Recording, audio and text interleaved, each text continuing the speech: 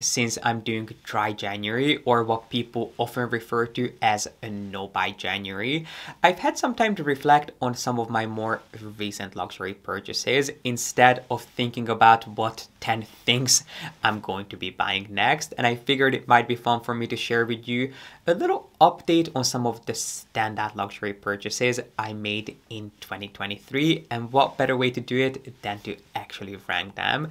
So if you'd like to get a little update on some of the pieces that I picked up in the past year and find out which ones turned out to be a winner and which ones I should have put right back on the shelf, then make sure to give this video a thumbs up, subscribe down below if you haven't done so yet, and keep on watching. If you've been with me for a while, you know the drill by now. I have done plenty of these ranking videos.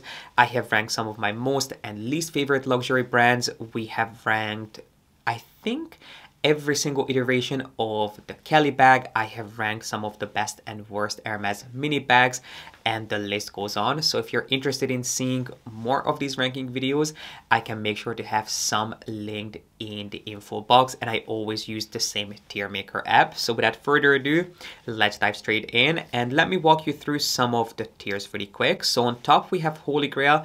These are the pieces that I truly feel like I've been able to get my money's worth out of. And of course, I'm grateful to have all of these pieces in my collection, but these are the ones that I would repurchase without a doubt. Underneath that, we have Happy to Have. These are things that are a great foundation piece in my collection but not really things that I would necessarily run out to repurchase. Then we have Could Live Without. These are just kind of matte pieces, things that didn't work out quite as I had hoped. And then the bottom of the tier is return. These are the things that I want to, or if I could, I would return, not for store credit, but for an actual refund, because these are the kind of things that I should have never even considered buying. So let's start. The first piece that we have here is the Polly bag from the row and this by the way is in no particular order I think it was just uploaded based on the name of the picture so it's not in chronological order but the first thing that we have here is the Polly bag from the row which I picked up in London at the beginning of last year and it really quickly became one of my most used and most loved bags. Now, if you've been with me for a while, you'll remember that I wasn't really the most impressed with the quality of the Row's bags, but I have to give credit where credit is due. I do think that their bags are getting better and better each and every single season. In fact, I think a new obsession with their bags was unlocked last year because I do have a couple of Row bags on my 2024 wish list, even though I'm not buying anything in January. So I'm not really thinking about what I'm going to be buying next. There are a few bags, well, a couple of bags that I'm eyeing, and I really don't see myself buying a bag from any other brand other than the Row. So this was the beginning of a beautiful love affair with their bags and I do have to say that the quality of this bag is just outstanding. I mean, to say that I abused this bag throughout the last year is an understatement. I have been carrying this to the gym. I used this for traveling last year. I use this in every single setting that you can possibly think of. I use this as a grocery bag when I just ran through a grocery store after the gym and I didn't have a paper bag with me, or sorry, not a paper bag, a canvas bag with me, and I actually use this as a grocery bag, and it's still in perfect shape. I love the design. I love the fact that it is insanely lightweight. I mean, it weighs nothing. You can fold it, twist it, and turn it. The leather is so soft and so lightweight that it will not crack. It will not show any signs of tear and wear. It has aged beautifully, which is really impressive considering how often and how I have been using it because I really did not baby this bag but it has worn beautifully. The quality is outstanding. It looks and feels unbelievably expensive. Anytime I go luxury shopping with this bag I cannot tell you how many compliments I get on this particular bag without anyone pointing out the branding or pointing out you know some really obvious emblem. It really speaks for itself and it is quintessentially the Row understated elegance and luxury. It's all about the details, the finishing, and the materials themselves. So if you are looking for a large and in charge oversized tote, something that will fit everything, even the kitchen sink. This is an incredible bag to add to your collection, especially if you don't like a heavy bag, but you need a large bag. This would be an incredible piece to add to your collection because it is featherweight. I mean, when I tell you that it weighs nothing, I actually mean it. It is by far one of the best purchases that I made not only last year but in the past few years. So if you are looking for a tote bag, this is something that I can really highly recommend. Moving on to the next piece, which is similar to the Polly bag, their unique selling point is also the fact that, that they are insanely lightweight, especially considering how chunky and rigid they look, which are the fresh ankle boots from Hermes. This is a pair of boots that is crafted from an insanely lightweight parachute nylon. The only downside is that the sizing is kind of all over the place because they're made of nylon.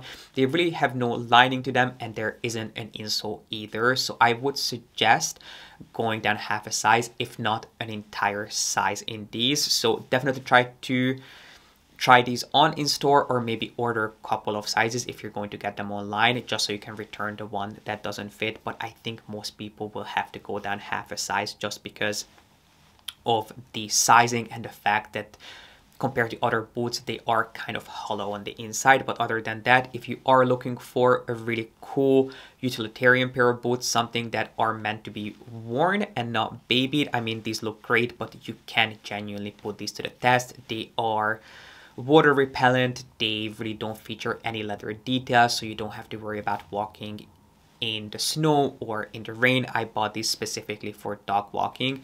This would be something nice to look into. They're really chic. They are pretty comfortable. I mean, I would suggest getting a pair of insoles in them just because they are pretty bare on the inside. But other than that, if you are looking for a pair of boots from Hermes, that are meant to be abused and worn, then this would be a good one to put on your radar. They're offered in a few different colors, both for men and women, and they really won't break the bank. I think these are just under a thousand dollars, which for a pair of Hermes boots is quite reasonable. So I would say that this is a design that I was happy to have last year but they're really nothing life-changing. This piece on the other hand has changed my style forever because I was never really a big vest person before trying this piece from the row which is the Balham Cashmere vest. And since trying this particular piece which the row offers every single season they offer this in black and navy as part of their classic iconic range. They're I think they're called this one of their staples and then they also do them in seasonal colors. But since trying this I have become a true convert and I have been living in just different cashmere vests and different knitted vests as you can probably tell. I bought vests from high-end luxury brands and also from high street brands. And while I love this particular design I don't really think I don't really know if it's worth the money because there are so many dupes out there at this point so I can make sure to have some linked down below for you. But if you are looking for a really beautiful staple vest something that you can wear on its own something that you can throw over a t-shirt or even a shirt something that can truly transform a really simple basic outfit into something a lot more refined and elevated this is an incredible piece to look into. It is made of a really soft plush but quite thin cashmere. So if you're a fan of the row and you don't have this piece in your collection, I would highly suggest checking it out. But if you're looking for something that will give you a similar look for a fraction of the price, definitely check out my info box because I will have some link down below for you. So I would say that the style itself is a holy grail, but if you're not, you know, a committed row fan, it might not be something that you want to spend the money. By far the most extravagant purchase that I made last year was the Rock Birkin from Hermes, obviously, which was the first exceptional bag that I ever bought. It wasn't the first exceptional bag that I was ever offered, but it was the first one that I actually brought home with me because when it comes to these exceptional bags, obviously they tend to be reserved for the true Hermes connoisseur, for the Hermes collector, because they are kind of a chance for Hermes craftsmen to run wild with their imagination. So they will usually feature really unique colors, patterns, interesting finishes and craftsmanship that you will really not see too often. So they tend to be quite over the top which just simply isn't my aesthetic. And they will very rarely if ever offer exceptional bags in all black. So when this bag was offered to me I just simply could not pass up on it because of the color and the craftsmanship but it's not a bag that I ever used. I did an updated video on this on TikTok recently because it's just not a bag that I would personally reach for, which I'm not really sure if it's because of the size. I'm just not a 25 kind of guy. I bought the Birkin 25 last year and then the year before I bought a Kelly 25 and I realized that I am really just not a 25 kind of guy so i don't know if it's the size or if it's the fact that it's just so over the top which doesn't really fit into my personal style and also my lifestyle. I just really don't go to places where I would want to carry an exceptional bag to. And also the fact that it is made of a really soft, really delicate leather gives me quite a bit of anxiety. So while it is a beautiful bag that I am so grateful that I was offered, it really is a piece that I have to be honest, I could live without as beautiful as it is. It personally just doesn't fit into my lifestyle but if you'd like to see more close-ups and more details definitely check out my TikTok that I filmed I think a month or two ago. Even though I've only had this piece for I want to say just about a month I can tell you that this is a bag that very much fits into my lifestyle. This is the kind of bag that I can really easily and really often take advantage of, which is the Row banana bag, which I did, I think I shared this bag in my last unboxing. So if you have not seen that, that including all the corresponding videos will be listed and linked in the info box for you. So if you want to see more mod shots and if you'd like to hear more details about this bag, definitely check that video out because if you're looking for a really easy grab and go understated bag, something that you can carry with the most casual of outfits, but you can definitely dress up too. I mean, I wouldn't carry this to a really formal occasion, but it is a beautifully streamlined, really elegant, really expensive looking bag without, of course, any obvious branding or any obvious emblems. This is an amazing bag to add to your collection, which I did buy the Uniqlo dupe of this bag a couple of years ago and I used it so much that I felt it was time for me to actually upgrade and get the real thing even though there are definitely a few different dupes out there. You can get some from Uniqlo, which are made of nylon, which I mean, yes, it has the same inspiration, but it really will not do the same thing for your collection because this is made of leather. It looks and feels a lot more refined, whereas the Uniqlo one makes a great bag for running errands or for traveling. And if you just want to be a tourist,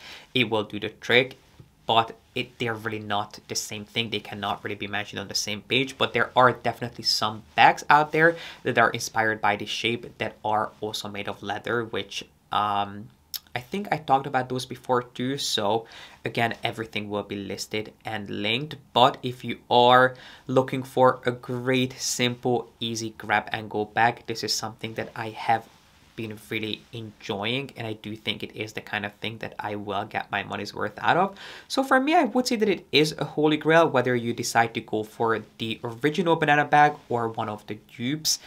I think it is just the kind of style that anyone would be able to take advantage of. It wasn't intentional, but here we have another piece from the row, a piece that I have literally been living in. I mean, I was desperate. I think I bought this last spring. I was going to wear it in September, and I remember posting about it on my Instagram that it was too hot in September to start wearing it, and I was so upset. I mean, I was counting down the days until the temperature dropped enough for me to actually start wearing this and I've only been wearing it for a few months but I have already got my money's worth out of it. I love this piece so much which is one of the exaggerated sleeve pieces from the row which was on the runway I think for 2022 2022. I'm pretty sure it was for 2022 and they did a ton of different iterations of the same design. There were dresses with these exaggerated sleeves. They did shirts. They even had a ton of different knits. So I bought the turtleneck version, but they had one that was a crew neck. They had a v-neck version of this, but I don't think that these are offered at this point, even though I think this should really become a classic because I love the Row's knits, but I especially love the pieces that have a little bit of a twist to them. And this is the perfect example of that. They are really simple. And the reason I'm saying that they are, even though I bought the turtleneck, as I mentioned, they also had crew necks and v-necks, dresses and shirts, even though all of them were really simple design. I love the fact that they spiced it up just by simply exaggerating and lengthening the sleeve detail, which meant that there were so many different ways of styling such a simple wardrobe staple. I think it is just an incredible design that I definitely would not want to live without. So for me, it is again one of the best purchases that I made in the last year. If you know me, you know that I pretty much live in white sneakers, so this is not going to be surprising. I have my favorite CT04 sneakers from Celine here, which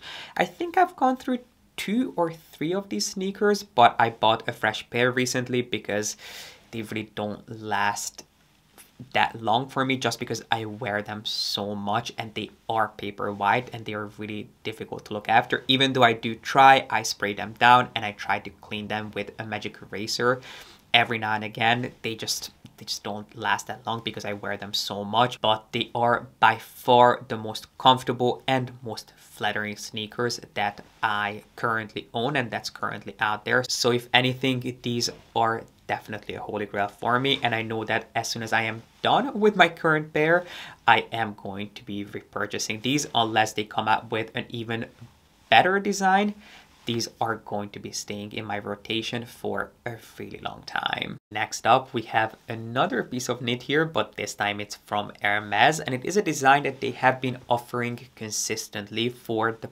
past year, year and a half, and even though the design has remained unchanged, they did play around with the fiber content. So the first year they brought this design out, I think it was only available in a few different colors, which is the reason I didn't buy it back then because I couldn't find a color that I liked, which would have been black, but they didn't have it in black the first time they brought this design out. And I think it was a pretty even split between cashmere and wool. Then they brought it out for last fall winter including a black colorway, which is of course the one that I went for. And it was a higher wool content and it was also slightly more expensive. Well, for this current spring summer season, they have brought this sweater back, but I think they increased the cashmere content as well as the price. So of course, the price has been increasing each and every single season, but it is a design that I have really been enjoying because it is a really unique fit.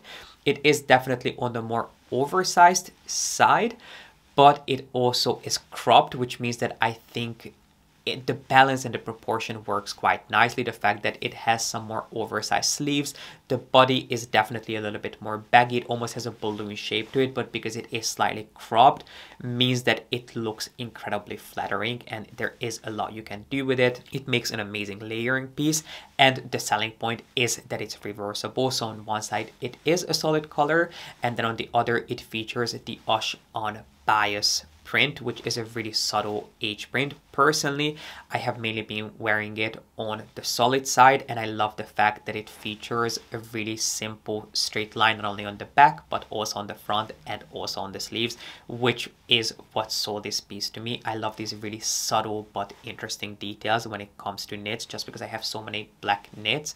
I like buying ones that have some really interesting little twists to them and this is definitely one that I have been loving. I love the fact that it is incredibly heavy, it is chunky, it's weighty, and it is also unbelievably warm. So if you're looking for a knit that you can play around with, something that you can dress up or dress down, and it's, it is the kind of piece that will dress anything up no matter what you style it with this would be an incredible design to go for now this is not for the faint of heart because even when i bought it I don't want to exaggerate, I can't remember the exact price, but I think it was close to $3,000, something along those lines. It was really quite expensive and it has only gotten more expensive since then. But if you don't mind investing in your knits, if you love Hermes and if you're looking for a piece that you can wear season after season, this would be an incredible piece to look into, especially now that it has a more, a little bit of a higher cashmere content if they still do this in black or navy. I actually would consider picking this up in navy too just because I have been wearing the black one so much but if you're looking for a great chunky knit, this would be an amazing piece to have in your collection. So I'm going back and forth between Holy Grail and Happy to Have. Honestly, I have to say that it is definitely something that I would repurchase. So because of that, I would say that for me in my collection, just because I love my knit so much, it is a holy grail piece. This next piece isn't a piece of clothing, but when I was going through some of the pictures that I took last year, I came across this one and I thought I would include it here, which last year I did buy a Kindle for the second time and it was life-changing. I would say that it was definitely a holy grail purchase because it has really got me into reading. I was never really a big reader before just because I'm dyslexic and I never really found reading particularly relaxing. Of course, I read for school and I will continue reading for school, but I never really read for pleasure until I got my Kindle because it has completely changed my life. I find it so much easier to read and anytime I am you know, going to an appointment or I'm running errands and I have a little bit of time in between, instead of sitting there scrolling on my phone, I will pull out my Kindle and I will read a couple of pages. And I have really been enjoying fantasy books. So if you need any fantasy recommendations, let me know. I would be happy to share those. But buying a Kindle was definitely one of the best decisions that I made in the last year. I would definitely consider myself a self-proclaimed luxury t-shirt connoisseur because I don't think there is a single luxury brand out there, or at least not a brand that I talk and care about that I haven't bought a black t-shirt from or a dark colored t-shirt from I should say.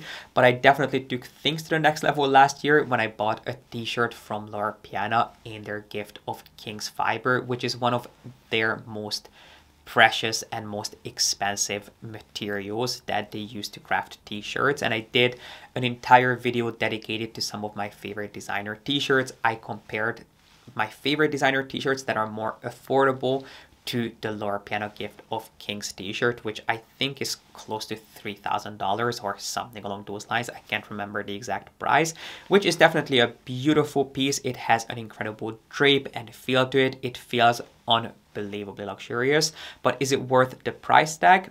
Not in my opinion. So for me, it is a piece that I could certainly live without. But if you'd like to find out more about this fiber and why it is so loved by the true Loro Piana connoisseurs. I not only have a video sharing my thoughts on this particular t-shirt, but I also have a video discussing everything that you need to know about Loro Piana, including a little overview of their most expensive materials because believe it or not this is not actually the most expensive t-shirt that Loro Piana offers. This next piece is definitely one of the most beautiful pieces of knits that I have ever seen and I have ever tried, which is from Bottega.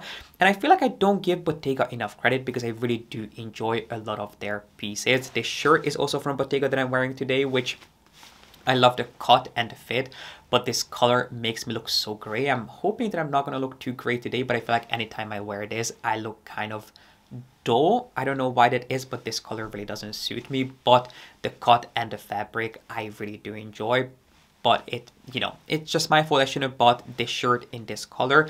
But overall, I really do like Bottegas, especially their ready-to-wears. I'm a big fan of, but this was definitely a highlight of the past year, which is a cashmere cardigan that features these beautiful oversized, really heavy metal knot buttons, which definitely make this piece a showstopper this is really a phenomenal piece even though I don't think that their cashmere is the softest cashmere out there. It is a little bit scratchy and that hasn't changed but the design itself is just beautiful. So for me it is definitely a piece that I was really happy to have. I, I don't think it was life-changing. I don't think that I couldn't live without it but it is definitely a beautiful piece of knit that I was really happy to have the chance to play around with last year.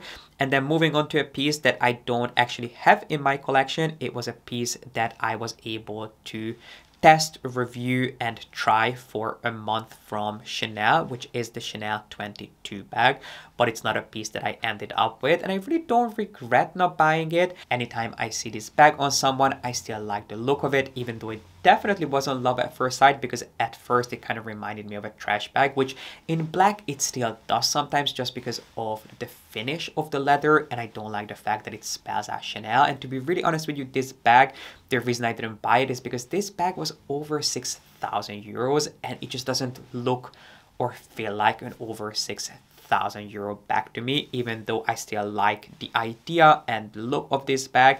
And it is definitely something that I feel like I could have a use for in my collection. I just simply could not justify the price, especially because I already have the Polly bag from the row, which I feel like does something very similar to me in a lot more elevated fashion. So because I have the Polly bag, I didn't feel that I have a gap in my collection that this particular bag could fill. But if you are a Chanel lover, if you love Chanel bags, but you're looking for something that is definitely a lot more user friendly, more relaxed, more laid back and casual, I can see why you would be a fan of this bag. But I am not a big Chanel fan to begin with. So I mean, I did return this bag, but I mean, if this bag was thrown at me, I would definitely keep it. I would definitely use it.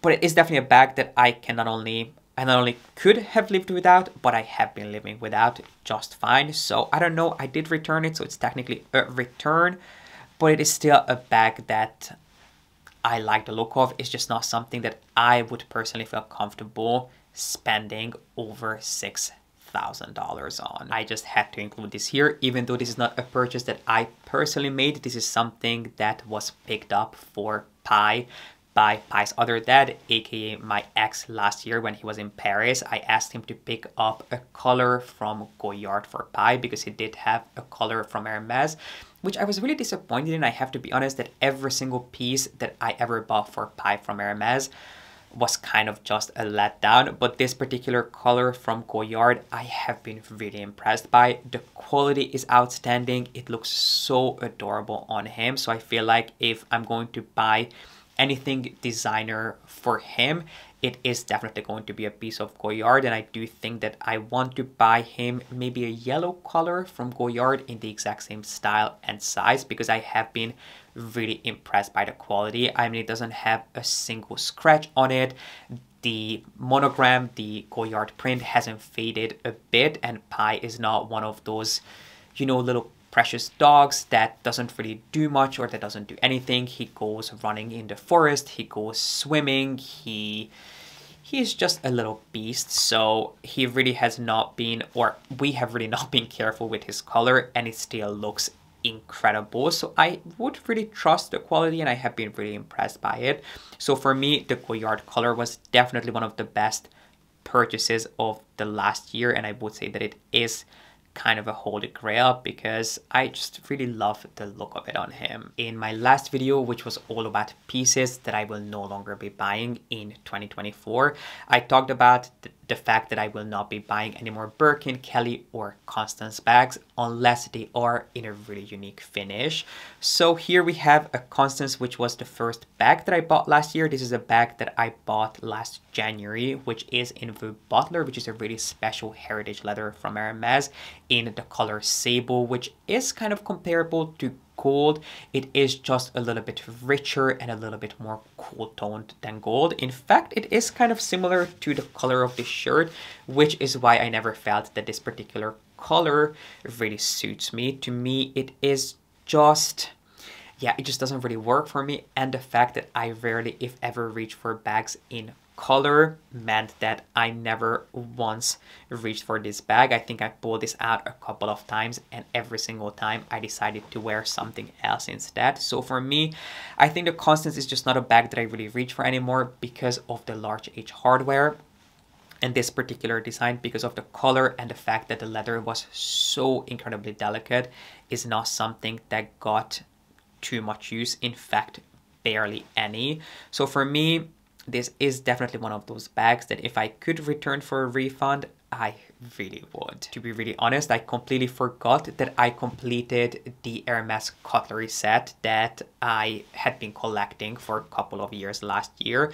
I only realized it when I was going through some of my unboxings from the last year because when my ex and I split, he kept all of our Grand Attelage cutlery, which I had been buying for a couple of years. And clearly it's not something that I can't live without because I still don't have them. In fact, I completely forgot about them, but it was a beautiful set of cutlery that I really enjoyed having. If you are really into your Hermes tableware, this would be a really nice way to put the cherry on top. The quality is outstanding. They're really heavy, really weighty, and they do make any meal that you have at home feel like the most exclusive culinary experience. So if you are really into your Hermes tableware and your Hermes homeware, this is definitely a beautiful collection to add to your arsenal. But I have been living without it for the past year. Another piece that I bought last year, which was really adorable, but really not something that I think I would ever repurchase is my birdie charm from Hermes, which as I mentioned in my last video, I am not a back charm person anymore, even though I built quite the back charm collection over the years. It's just not the kind of thing that I really reach for or the kind of thing that I would really be interested in spending my money on. So the birdie back charm is definitely one of the cutest charms that I have ever seen, but it is just not my personal aesthetic at this point. So it is not something that I would repurchase. Would I return it? I mean, I could yeah, I mean, I don't think I would buy it at this point, but it is still something that was really cute to put on my Birkin.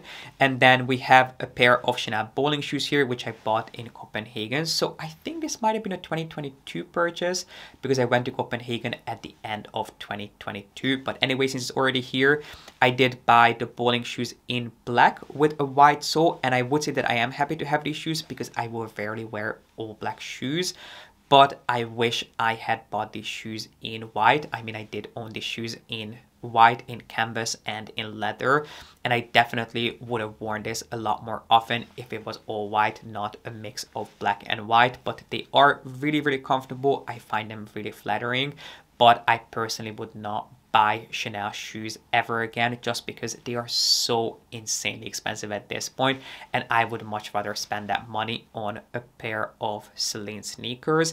And then last but not least, a piece that I actually returned, which was a puffy jacket from Hermes. So I'm going to say that it was a return and it wasn't because of the design. I really actually quite liked the design, but it was more the fit. It was a really tapered really fitted shape and it was from the women's line so it simply did not suit me. My friends this brings us to the end of today's video on some of the best and worst luxury purchases of 2023. Thank you so much for coming along on this walk down memory lane with me and please don't forget to let me know in the comment section what was your best and worst purchase of the past year. I cannot wait to hear from you. And while you're down there, make sure to give this video a thumbs up and subscribe if you haven't done so yet.